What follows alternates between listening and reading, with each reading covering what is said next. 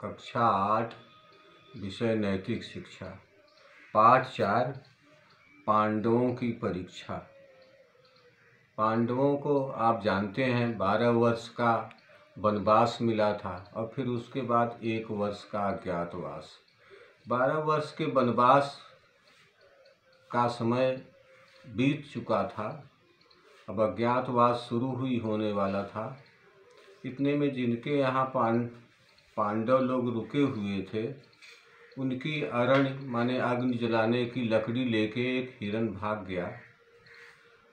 उसने, उस ब्राह्मण ने पांडवों से कहा, युधिष्ठिर से कहा कि अब अग्नि प्रज्वलित कैसे होगी? तब पाँचों पांडव उसके पीछे दौड़े, लेकिन हिरण कहीं ओझल हो गया, मिला नहीं।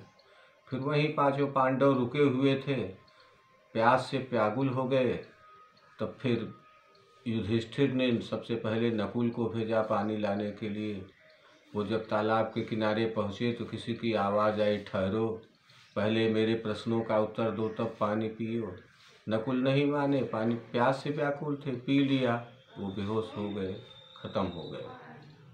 फिर इसी तरह से सहदेव गए, भीम गए, अर्जुन गए, किसी ने भी व्यास प्यास से इतने व्याकुल थे उन्होंने यक्ष की बातों पर ध्यान नहीं दिया और वो सब मृत हो गए।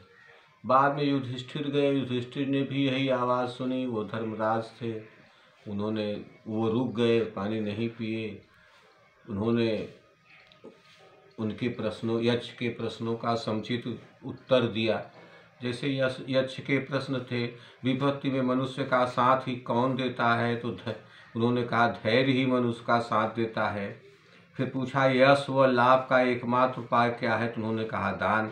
कहा, हवा से तेज चलने वाला कौन है? तो मन, विदेश जाने वाले का साथी कौन है विद्या? किसे त्याग कर मनुष्य सबका प्रिय हो जाता है? अहंकार को त्याग कर आदि आदि। ने बहुत से प्रश्न पूछे। तो अंत में पूछा, सबसे बड़ा आश्चर्य क्या है? तो कहा, दुनिया में लोग रोज़ हज़ारों लोगों को मरता हुआ देखते हैं, फिर भी स्वयं जीने ऐसा समझते हैं कि हमारी मृत्यु कभी नहीं होगी। यही सबसे बड़ा आश्चर्य है। युधिष्ठिर के प्रश्नों के इन उत्तर से यक्ष प्रसन्न हो गया और वहाँ यमराज धर्मराज वो साक्षात धर्मराज थे। उन्होंने कहा, तुम किसी एक भाई को जीवित कर सकते हो? तब उन्होंने नकुल के लिए कहा। तो यक्ष ने पूछा, तुमने भीम या अर्जुन को क्यों नहीं कहा? तो कहा ये हमारी विमाता का पुत्र है। कम से कम दोनों माताओं के एक पुत्र तो जीवित रहेंगे। यक्ष बहुत प्रसन्न हुआ और सबको जीवित कर दिया। अब इसके अभ्यास का। पांडव कितने वर्ष के लिए वनवास गए थे? बारह वर्ष के लिए वनवास गए थे। यक्ष के प्रश्नों के उत्तर किसने दिए? युधिष्ठिर ने दिए। सही उत्तर पर सही टिक। यक्ष वास्तव में कौन थे? यमराज। यक्ष के प्रश्नों का उत्तर किसने दिया? युधिष्ठिर ने। पानी लेने सबसे पहले कौन गया? नकुल। पांडवों के पास रोता हुआ कौन आया? ब्राह्मण। पांडवों को कितने वर्ष का अज्ञातवास मिला? एक। रिक्त स्थान की पूर्ति करे। अरण की लकड़ी। अरण, पहले में। अरण की लकड़ी हिरण के सिंग में ही अटक गई। दूसरा ख जो है, इसका किताब में दिया भी नहीं गया है।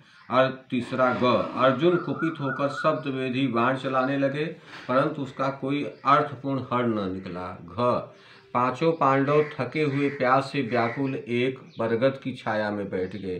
अंग, अहंकार को त्याग कर मनुष्य सभी का प्रिय हो जाता है। चौथे का क, सत्य सत्य। हिरण लकड़ी को लेकर एक गुफा में गया असत्य सबसे पहले सहदेव के जलाशय पर पहुंचकर सबसे पहले सहदेव ने जलाशय पर पहुंचकर पानी पिया। असत्य।